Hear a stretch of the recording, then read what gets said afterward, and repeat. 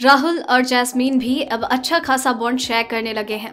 वो दोनों भी एक दूसरे से मस्ती मज़ाक करते हैं, बातचीत भी होती है।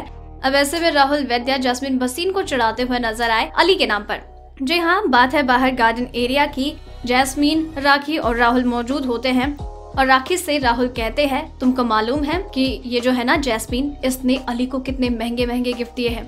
पाँच लाख के जूते, सात लाख का बैग और भाई घड़िया बढ़िया, यार क्या अमीर लड़की है। इस पर राखी ने कहा कि मेरे हस्बैंड ने तो मुझे चालीस लाख के जेवर दिए हैं।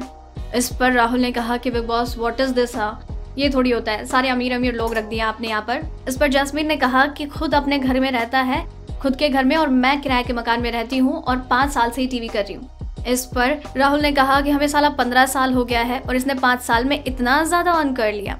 इसी के साथ ही जैस्मीन ये भी कहती है कि झूठ मत बोल यार, मैंने नहीं दिया उसको इतने महँगे गिफ्ट मेरे पास इतने पैसे नहीं हैं।